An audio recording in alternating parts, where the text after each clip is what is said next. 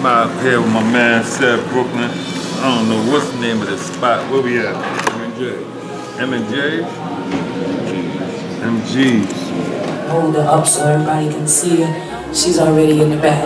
Amen. Wave your hand to Tootie. There oh, go Tootie.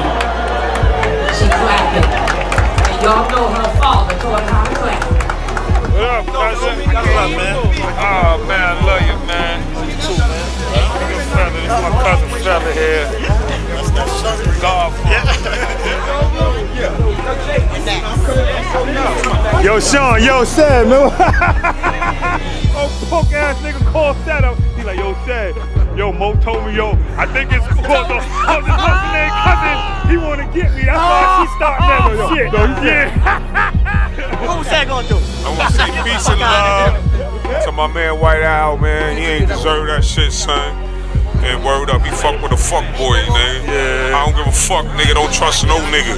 No nigga. No nigga. No new nigga. And I love my man White Owl, you heard? Keep it 100, son.